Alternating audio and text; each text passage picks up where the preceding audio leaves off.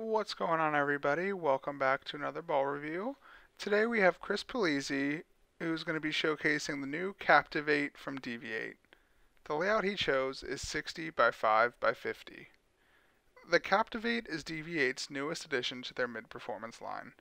This core offers something a little different for the line with a higher RG core and a lower differential.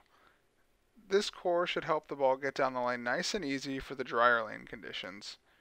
We are filming this ball video after completing another one prior, so the lanes are starting to dry out. We can see from the shots that Chris is throwing that this ball is still clean through the fronts, but because of the lower differential, it's not overly angular off the spot.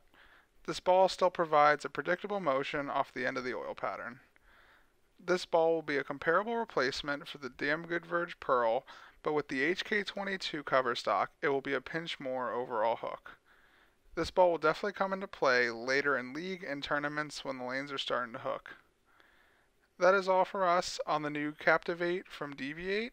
Thank you all so much for tuning in and we will see you in the next video.